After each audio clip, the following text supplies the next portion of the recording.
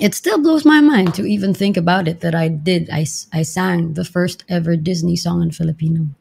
If can Man, you imagine? come on, I can't that even. I can't even believe it.